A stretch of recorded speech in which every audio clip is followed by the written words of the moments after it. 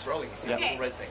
Hi, I'm Amy Lee, and this is the legendary Steve Lillywhite. We say legendary rather than veteran. They're the same, Even but legendary both. is better. I am a veteran as well. We're here on East Village Radio, having a great time. EastVillageRadio.com in the tiny little booth here, and uh, yes, Thanks for having us. thanks for having us. Marvelous.